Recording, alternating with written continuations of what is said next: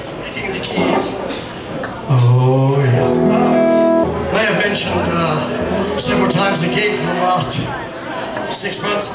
We have an album out, um, the latest one is called Spiritual Boy, an appreciation of the wonderful Ronnie Lane, my bandmate from the Small Faces and the Faces Day. Thank you. Yeah,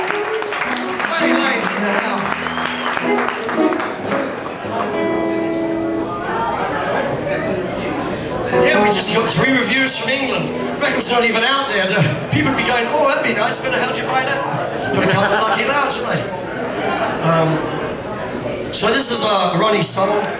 Ronnie from the Faces Days. Um, it's called Glad and Sorry. I was asked to dedicate this to a pal of a pal, Glenn Ward. Glenn, I haven't met you yet, but thanks for coming out. Appreciate it. He got applause, look at that. It's obviously at the back of the room. and the whole crowd.